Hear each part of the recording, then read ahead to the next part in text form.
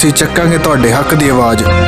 ਇਹ ਬਹੁਤ ਹੀ ਮੰਦਭਾਗਾ ਫੈਸਲਾ ਗਾ ਆਮ ਆਦਮੀ ਪਾਰਟੀ ਪਹਿਲਾਂ ਹੀ ਕਹਿੰਦੀ ਹੈ ਵੀ ਕਿਤੇ ਨਾ ਕਿਸੇ ਰੂਪ ਦੇ ਵਿੱਚ ਕੈਪਟਨ ਸਾਹਿਬ ਅਕਾਲੀ ਦਲ ਦੇ ਪ੍ਰਧਾਨ ਸੁਖਵੀਰ ਸਿੰਘ ਬਾਦਲ ਨੂੰ ਬਚਾਉਣਾ ਚਾਹੁੰਦੇ ਨੇ। ਅੱਜ ਉਸੇ ਕੜੀ ਦੇ ਤਹਿਤ ਇਹ ਗਿਣੀ ਮਿਥੀ ਸਾਜ਼ਿਸ਼ ਦੇ ਅਧੀਨ ਜਿਹੜਾ ਹੈਗਾ ਕਮਰ ਵਿਜੇ ਪ੍ਰਤਾਪ ਨੂੰ ਹਟਾਇਆ ਗਿਆ। ਕਿਉਂਕਿ ਕਿਤੇ ਨਾ ਕਿਤੇ ਜਿਹੜੀ ਸਿੱਟ ਸੀਗੀ, ਉਹ ਜਸ ਜੀ- ਰਣਜੀਤ ਸਿੰਘ ਕਮਿਸ਼ਨ ਦੀਆਂ ਜਿਹੜੀਆਂ ਫਾਈਂਡਿੰਗ ਸੀਗਾ ਉਸ ਨੂੰ ਲੈ ਕੇ ਜਾਂਚ ਕਰ ਰਹੀ ਸੀ, ਜਿਨ੍ਹਾਂ ਵਿੱਚ ਪ੍ਰਕਾਸ਼ ਸਿੰਘ ਬਾਦਲ ਸੁਖਵੀਰ ਸਿੰਘ ਬਾਦਲ ਦਾ ਨਾਮ ਆਉਂਦਾ ਸੀਗਾ। ਸੋ ਮੈਂ ਸਮਝਦਾ ਵੀ ਮੋਦੀ ਸਾਹਿਬ ਨੇ, ਕੈਪਟਨ ਸਾਹਿਬ ਨੇ ਜਿਹੜੀ ਅਫਸਰਸ਼ਾਹੀ ਦੀ ਦਬਾਅ ਬਣਾ ਕੇ, ਜਿਹੜਾ ਚੋਣ ਕਮਿਸ਼ਨ ਤੇ ਦਬਾਅ ਬਣਾ ਕੇ ਫੈਸਲਾ ਕਰਵਾਇਆਗਾ ਤਾਂ ਕਿ ਇਸ ਇਲੈਕਸ਼ਨ ਦੇ ਦੌਰਾਨ ਪੰਜਾਬ ਦੇ ਲੋਕ ਇਸ ਗੱਲ ਨੂੰ ਭੁੱਲ ਜਾਣ ਕਿ ਪੰਜਾਬ ਵਿੱਚ ਕੋਈ ਬੇਅਦਬੀ ਹੋਈ ਸੀ।